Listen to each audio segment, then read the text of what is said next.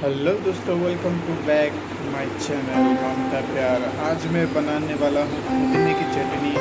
गर्मियों में बहुत अच्छा होता है। तो यहाँ पे मैंने दो कच्चे आम लिया, हरी मिर्च लिया और पुदीना पत्ता लिया।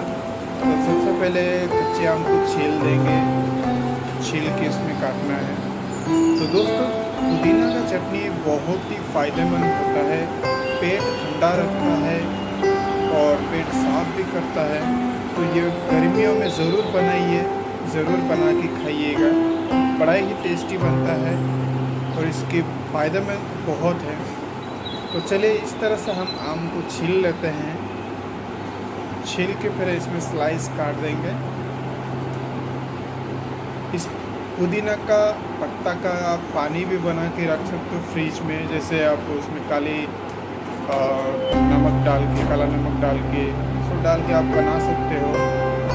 तो गर्मियों में टाइम पे इसको आप आबरस टाइप का बना के इसमें पी सकते हो इसी टाइप का। तो ये बीच में निकाल देता हूँ कच्चे आम का बीच बीज मत डाल दीजिएगा इसमें।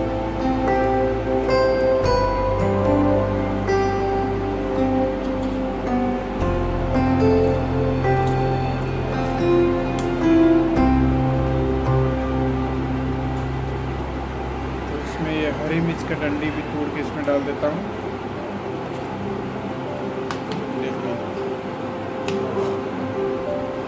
ये है लहसुन, अदरक।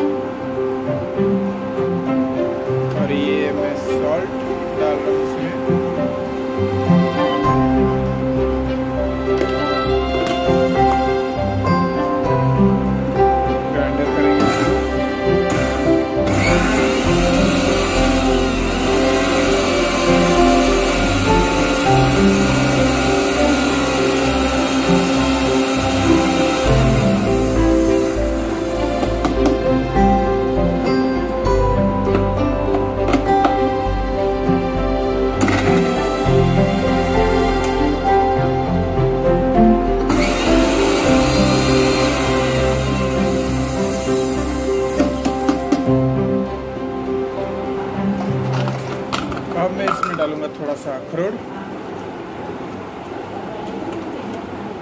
थोड़ा सा फ्लेवर लाने के लिए।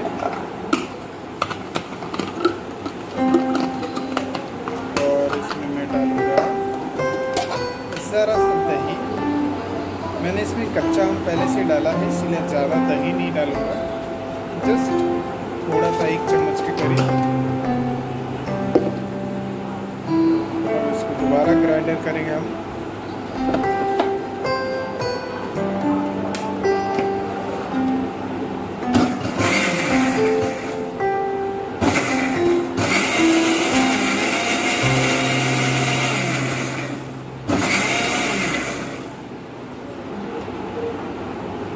तो दोस्तों, मेरा पुदीने का चटनी बन के तैयार हो चुका है। Thank you so much watching my video please subscribe